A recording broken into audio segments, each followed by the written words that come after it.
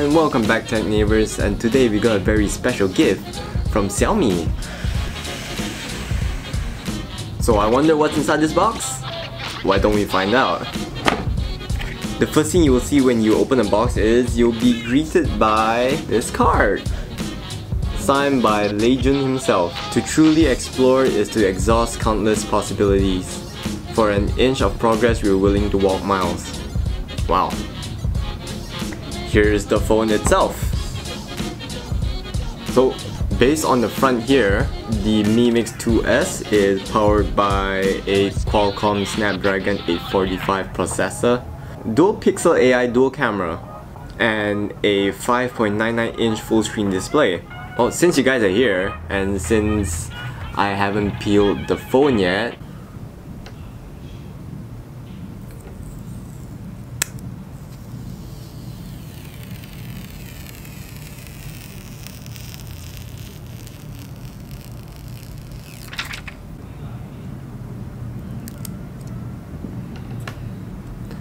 Then off goes the rear sticker.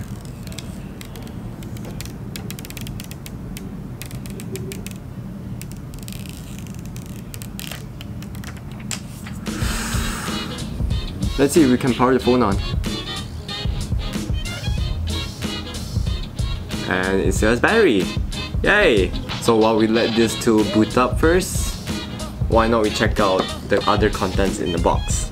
They've included a USB Type-C cable, put this over here, and the charger included in the box. We have a box inside another box. Inside here, we'll see the case and the pin to remove the SIM and oh okay here's a 3.5mm adapter for the phone because if you see over here on the bottom and on the top there is no 3.5mm jack. Here are the tech spec of the Mi Mix 2S. First impressions, the phone is really shiny. I can see myself through it. I mean who needs to buy a mirror right? And then the second thing is the display. Look at the bezels. It's so thin. The only thick part is the chin, which is at the bottom here.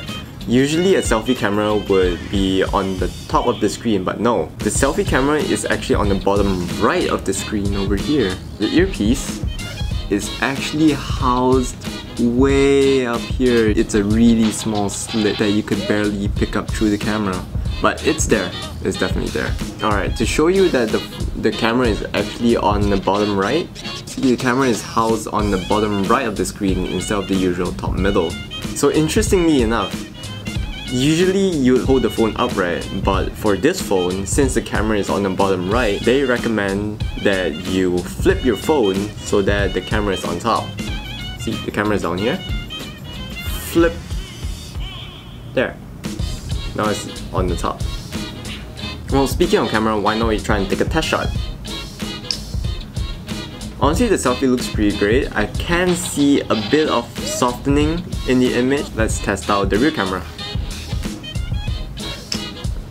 In terms of performance, the Mi Mix S2 is really snappy and loads up applications pretty fast. Along with its contrasty display and minimal bezels, it definitely improves the user experience of the phone. And while it is shiny, it does attract a lot of fingerprints. So I would highly suggest if you guys get a case along with it, like this one, which came together inside the box of course. So what do I think about the phone? Well, one thing's for sure, it's a nice looking phone, and honestly to me, the placement of the selfie camera is kinda weird to the point where you have to flip your phone just to take a proper selfie. This is Keegan from TechNave.com and I'll see you in the next video.